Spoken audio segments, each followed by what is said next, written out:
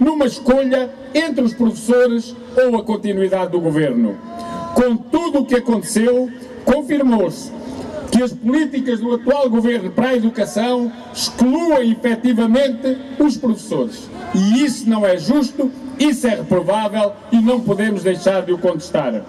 Veio o Primeiro-Ministro, passada a chamada crise política, veio então afirmar que por si, disse ele há dias, já depois de imposto o roubo do tempo de serviço, que por si o programa do seu partido para a próxima legislatura não iria prever a revisão do Estatuto da Carreira Docente. Na verdade, do que precisaria, porque precisaria o Governo de rever o Estatuto da Carreira Docente, se com o roubo de seis anos e meio de serviço, mais um pouco até, ela já está revista para todos os professores e educadores que tenham até 30 e poucos anos de serviço, ou seja, para a maioria dos professores. É o que acontecerá se não for recuperado todo o tempo de serviço. A carreira fica revista, sofre uma desvalorização de cerca de um terço e os professores não passarão, muitos deles do quarto escalão, até porque se conjuga a perda de tempo com outros fatores que existem, como as vagas,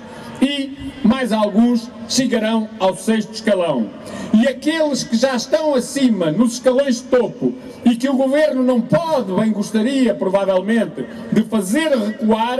esses têm já perdas que são irrecuperáveis na carreira e também terão fortes penalizações na aposentação, porque o governo recusou a todo o tempo que os professores pudessem optar por recuperar, se assim o entendessem, na aposentação. E até nisto o senhor Medina da Câmara de Lisboa veio mentir. Ele tinha vindo dizer aqui há tempos que os professores estavam a exigir retroativos. Agora veio dizer no programa da semana passada, faz hoje uma semana, que os professores nem quiseram aceitar as propostas do governo para poderem beneficiar na aposentação, beneficiar de tempo de serviço que tinham perdido. Mas onde é que o governo algum dia propôs isso? Veio uma vez o doutor António Costa, numa entrevista ao Expresso, dizer que admitia essa possibilidade, estávamos no mês de agosto, e quando na reunião, logo a seguir, no início de setembro, nós colocámos a questão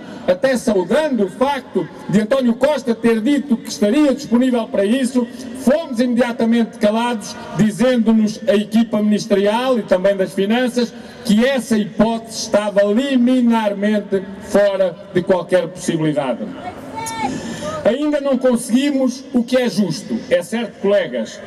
Pensemos, há pouco alguém me dizia, mas se não temos feito esta luta toda, nem sequer já íamos em dois anos, nove meses e 18 dias, não tenham dúvidas nenhuma, estávamos a zero se isso não acontecesse.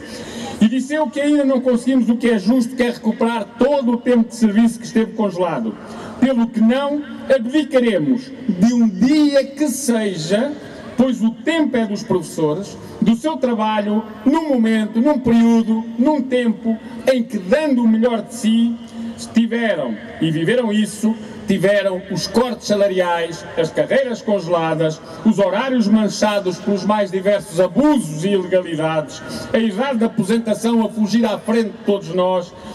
e também provocando um envelhecimento enorme da profissão que faz com que hoje sejam cada vez mais aqueles que mais envelhecidos, mais desgastados, se vão arrastando, mantendo nas suas escolas, ao mesmo tempo que o país desperdiça milhares de professores jovens que foram em quem investiu o país na sua formação, mas que agora ou se arrastam pelas AEC ou até nem sequer estão a trabalhar em alguma área que tenha a ver com a educação.